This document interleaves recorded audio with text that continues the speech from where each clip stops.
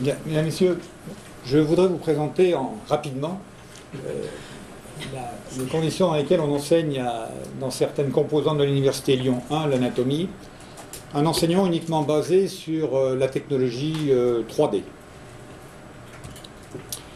Donc c'est, à notre connaissance, la première utilisation de la 3D dans un but pédagogique et euh, nos, publics sont à la fois des professions paramédicales, certaines professions paramédicales, et les étudiants en sciences du sport.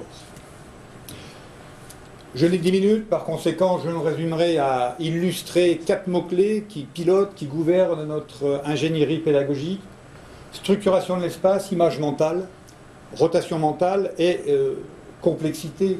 Les trois premières étant vraisemblablement les difficultés majeures auxquelles sont confrontés l'étudiant qui euh, est en contact pour la première fois avec l'anatomie. La complexité, eh bien, c'est ces moments-là où les mots, euh, on ne trouve plus les mots, on a du mal à trouver les mots pour euh, lorsqu'on fait face à un auditoire qui manifestement ne comprend pas votre discours. Donc notre ingénierie pédagogique à ce jour, c'est 44 vidéos qui sont en ligne, des images extraites des vidéos qui structurent un cours écrit des contrôles, des PDF, une plateforme pédagogique, celle de Lyon 1, Spirale, et puis bien évidemment euh, l'inévitable squelette. Donc ce sont ces ressources que je vais vous montrer et commenter. J'ai un écran, c'est plus joli, tant pis, allons-y. Donc le bassin illustre bien notre méthode. On utilise la 3D, donc dans une perspective, dans un but didactique, et euh, de manière à créer une image mentale simple, une image mentale qui est à la portée d'un étudiant de première année, c'est-à-dire qui vient juste d'obtenir le baccalauréat, pour lequel le discours scientifique reste encore abscon, avec des problèmes de structuration de l'espace, et euh, cette image mentale, donc le bassin bassine, que l'on euh, complexifie progressivement, peut constituer une aide à l'étudiant. Simultanément, vous voyez là euh, une figurine qui se substitue aux trois axes classiques et qui permet à l'étudiant, une fois débutant, de se euh, repérer dans l'espace.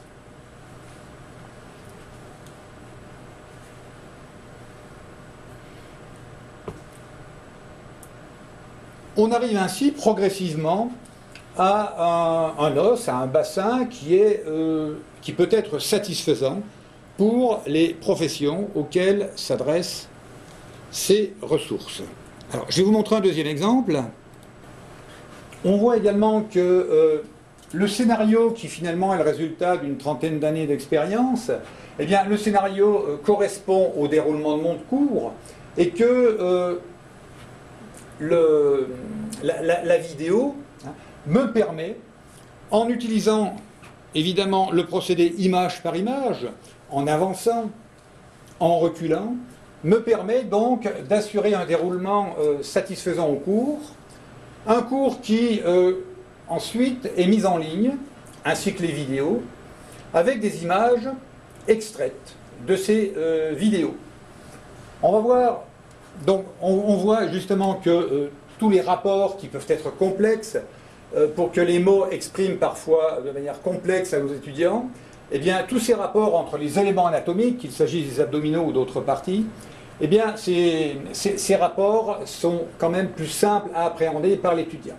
On voit également que la 3D permet d'illustrer ici de manière relativement simple, puisqu'il s'agit d'un muscle unique, mais euh, il n'y a pas de limite. On- si, si- l'on représente des groupes musculaires, tout ceci est également possible, qui permet donc de euh, représenter les muscles en action.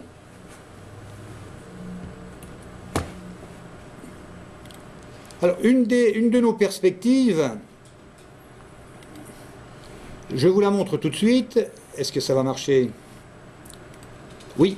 C'est euh, un de nos projets pour l'année prochaine. C'est l'intégration, grâce à une régie, de ces vidéos 3D Car notre équipe dans des podcasts qui permettront justement à l'étudiant, euh, seul, peut-être un jour sur, euh, sur son iPad, euh, iPad de euh, pouvoir comprendre, s'il a été absent par exemple, le cours tout en disposant bien évidemment du cours écrit. En bas, il est encastré entre les deux ocoxos. Autre ressource intéressante que nous utilisons, des PDF. Cette fois-ci, ça s'ouvre. Donc ce sont des PDF euh, d'un poids extrêmement léger. Vous pouvez les envoyer par, euh, par courrier électronique, même si dans notre cas cela n'a guère d'intérêt. Mais si on prend par exemple l'Atlas et l'Axis modélisés, vous voyez que on peut à la fois zoomer, se situer vraiment au, cœur d'une articulation, représenter évidemment différents mouvements, et ainsi commenter en cours des euh, situations que les mots quelquefois peinent à éclaircir. Un autre exemple d'un PDF un peu plus complexe,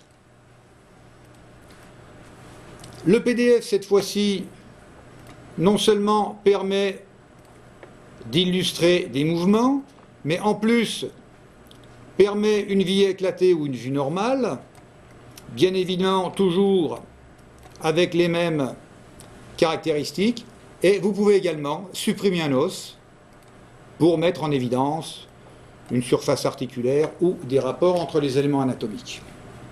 Et nous travaillons actuellement sur des portfolios PDF 3D, ici un PDF consacré au cou, où là encore, on retrouve les mêmes caractéristiques du PDF, c'est-à-dire qu'on peut enlever un élément, en rajouter un, l'orienter dans l'espace dans toutes les directions.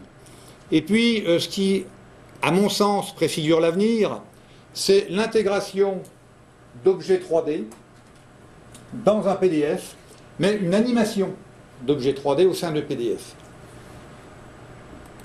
Voilà par exemple, c'est encore à l'état de, non pas de projet, mais si vous voulez d'ébauche, voilà ce qu'on peut réaliser au niveau du cours. C'est-à-dire que l'étudiant ou l'enseignant à qui l'on a euh, remis les, objets 3D peut animer à sa guise ces objets 3D. Tout l'intérêt est de pouvoir là encore mettre en scène ces objets 3D avec les moments clés, les moments forts d'un cours magistral, et l'on peut, là encore, enlever un élément, le crâne, ça se voit bien, pardon, et ainsi animer, mettre en scène les objets 3D, suivant les euh, besoins de l'enseignant.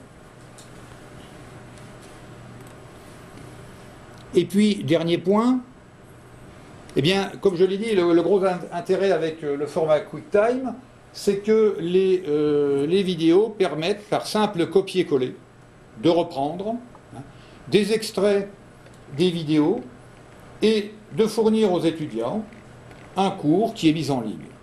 Et de même, les contrôles écrits, contrôles continus, voire contrôles euh, terminaux, peuvent également être mis en ligne et ainsi, l'étudiant a à sa disposition toutes les ressources que je viens de vous présenter, sachant qu'elles euh, sont également disponibles en accès libre. Il suffit de taper Anatomie 3D, Lyon 1. Voilà.